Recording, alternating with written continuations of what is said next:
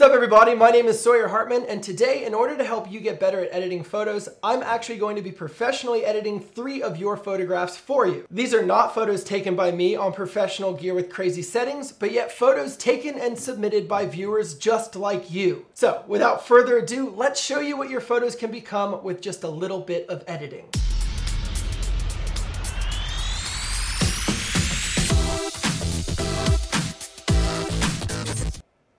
This is my third cup of coffee so far, and it's only 9 a.m.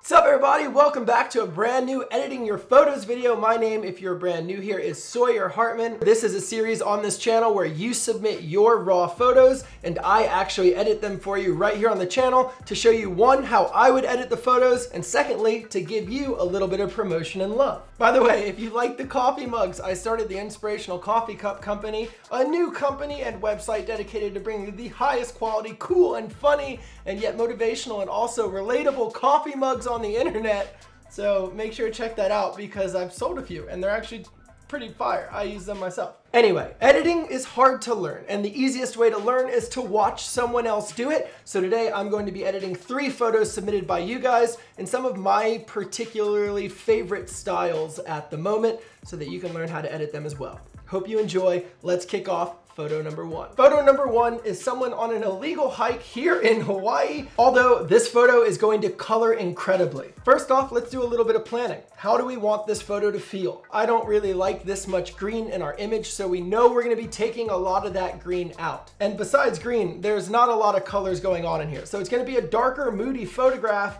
but I do really wanna protect these skin tones. So let's do a moody photo edit with good skin tones. The first thing I would do is just try to properly dial in the white balance, which there we go. You can use his hat for white balance. Very, very, very simple. Now we're gonna try to actually balance out some of this image. The first thing I wanna do is save all of the shadows on his body and face. So I'm gonna bring up my exposure about a stop and a half, just so that he is properly exposed. I'm gonna bring down the highlights and the whites, while also messing with the shadows a little. Where I do the majority of my editing is actually right here in the color curves. I'm going to go ahead and make my S color curve that I always make on all of my edits. We're gonna do this on the red channel, the green channel, and also the blue channel. You can see as we do it to each channel, they start balancing each other out a little bit. Okay, wait, starting to come along. You can, ah, okay. You're starting to see it actually like emerge from itself and this is starting to get a little better. I can, I can deal with this right here.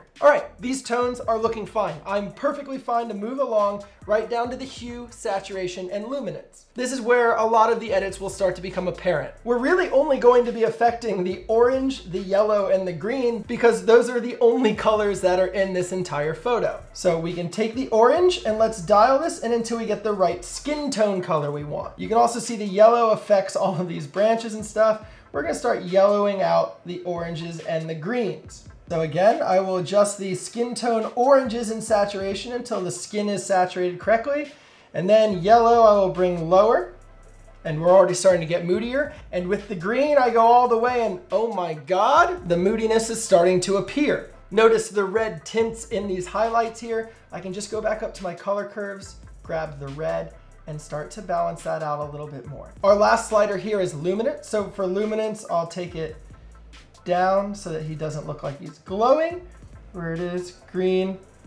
We will darken it. Let's go ahead and darken green to about there. You can see the before and the after. The problem is I'm starting to see a little bit too much purple tints. So I'm actually come down to the bottom where you see shadows and I'm gonna start dialing it in all over again. As you can see, this is extremely close. I just want to take some of this red tint out of it. And there is where the red tint was. And just like that, it's postable. Wow, this is a banger. All right, so the second photo we have is just an absolute incredible composition. I mean, look at all of the negative space that draws your attention straight to the subject. This is an extremely incredible photograph.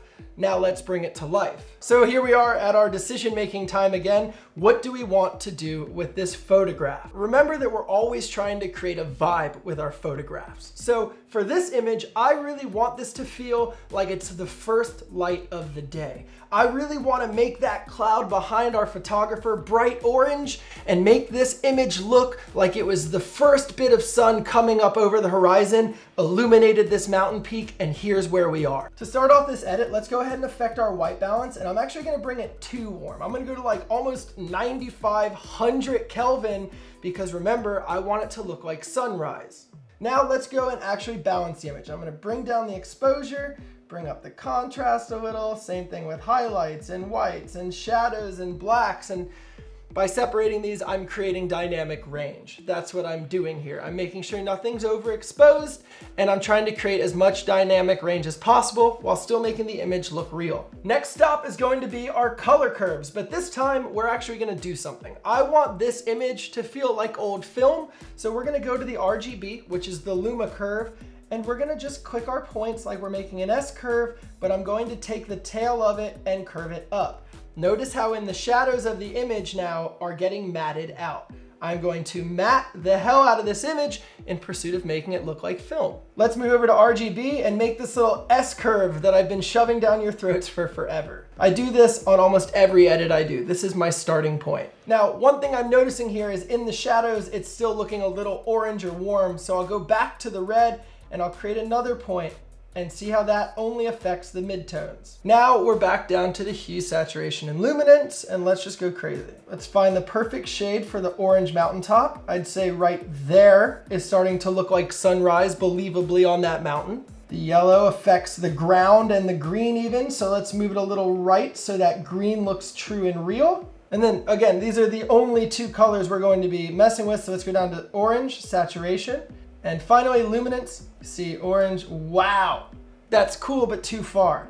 So let's find a nice middle ground. And then for the yellow, we will bring that up to create a little contrast. Honestly, that is damn near exactly what I had in my mind. But the photo overall, this looks like it could be any time during the day. And now all of a sudden, boom, it's sunrise. We can even take the white balance a little bit more to the right if we want and just have fun with it right? This is the first light of the day. And that, ladies and gentlemen, does it for image number two. So back in our planning phase, what do we wanna do with this image here? It is an incredibly beautiful image, but obviously the first thing that's gotta go is this massive bush that is distracting me from the waterfall. Say no to bush. The second thing that I noticed about this image is because of Instagram's crop, I'm gonna have to go to a four by five crop, which means if I want the whole waterfall in, she is way far below this third line. So to fix this, we're obviously also gonna have to move her up the waterfall. Should be easy enough, but let's not overthink it. This obviously is not going to be a job for Lightroom, so let's go ahead and hit Command E and open this image in Photoshop. Now, if you know nothing about Photoshop, that's perfectly fine. Just watch, pay attention, and try to like keep up because you're gonna wanna learn it very, very soon. So here we are in Photoshop. The first thing I'm gonna do is duplicate my layer to make sure I don't mess up the only copy I have. Using my stamp tool, I am going to actually start painting out this bush. Now, I do not claim to be a Photoshop professional, so if I'm doing this wrong, I apologize. Um, just get over it. I don't really know. It works for me, and that's our only goal as a photographer is to get it to work. So I'm just gonna keep selecting water like I am here, and we're just gonna paint this out. Okay, there we go. So that big arm of the bush is gone. Then I'll just go down here and any other little pieces of grass like this one, let's just go ahead and take them out just so it's nice and clean and it doesn't matter. We're gonna crop the image anyway. All done. That is uh, painted out decently.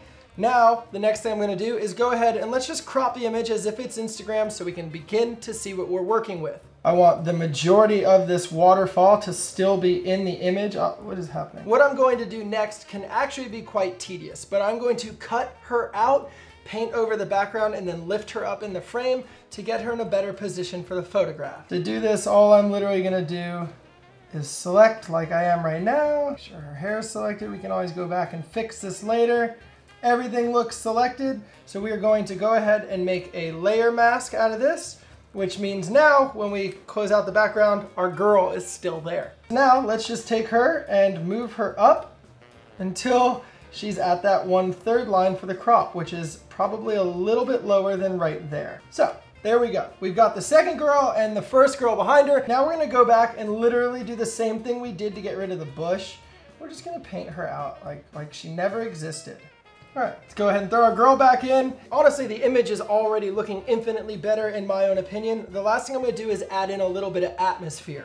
I'm gonna go up to the top, I'm gonna select a fog brush pack that I have, and I'm gonna go ahead and just paint that in down here at the bottom. And then I just move the fog layer right in between the waterfall and the girl. Click Apple S and we are back into Lightroom. So now that we're back into Lightroom, I'm just gonna cheat a little and go over to my Leica Looks preset pack, grab Old Faithful, and use this as a base. I'll then just start editing out some of the green haze, changing the white balance so that it looks more real, and adjusting the basic balance. I can go back down to the hue, saturation, and luminance. Are there any colors in this image I'm not a fan of?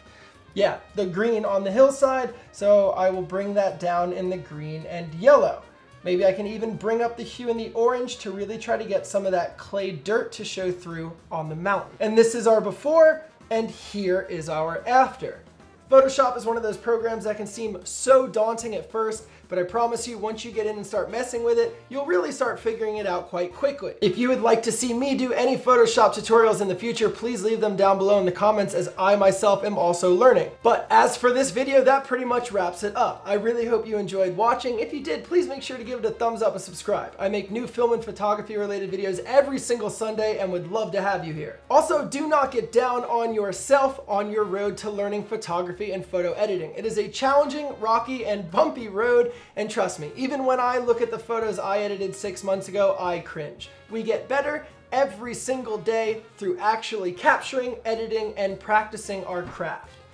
So whatever you do, keep your head up, get out there and start taking some photos today. But before you go, remember, stay motivated, stay inspired, and never stop creating. And I'll see you guys in the next episode. Peace.